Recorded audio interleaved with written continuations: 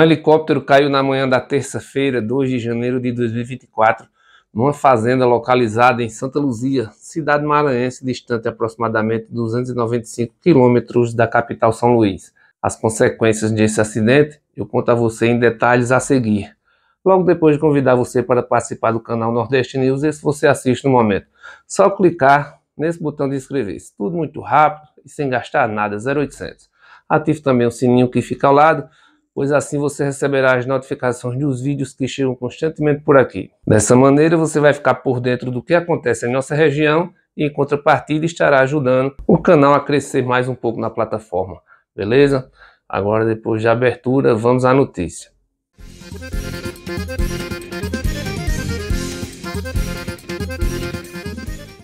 Um helicóptero caiu na manhã da terça-feira, 2 de janeiro de 2024, em uma fazenda localizada na região oeste do Maranhão, entre os municípios de Santa Luzia e Buriticupu.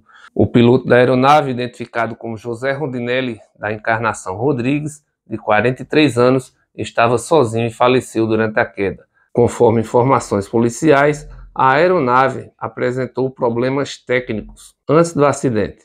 Ainda segundo a polícia, o piloto José Rondinelli estava no local do acidente desde o dia 22 de dezembro de 2023.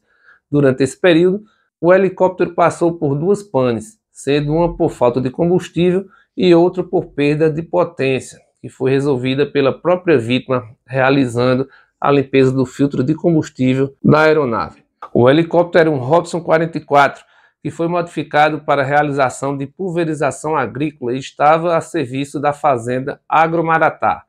No momento do acidente, a aeronave estava somente com o piloto a bordo, realizando pulverização de veneno em um matagal dentro da área da própria fazenda.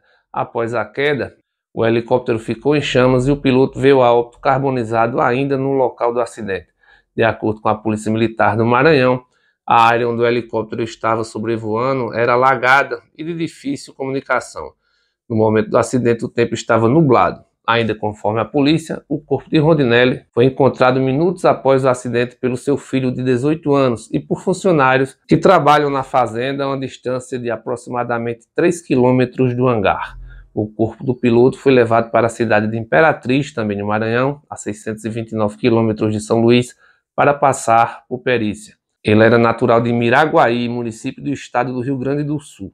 O helicóptero fabricado no ano de 1998 pertencia a José Rondinelli e está registrado no nome dele. Contudo, estava com operação negada para táxi aéreo. Além disso, o certificado de aeronavegabilidade também estava suspenso, conforme apontou o boletim da ANAC. Como está caindo helicóptero em nosso país nos últimos dias, né?